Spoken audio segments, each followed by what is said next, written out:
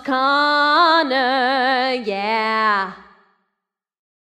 One happy birthday dot com.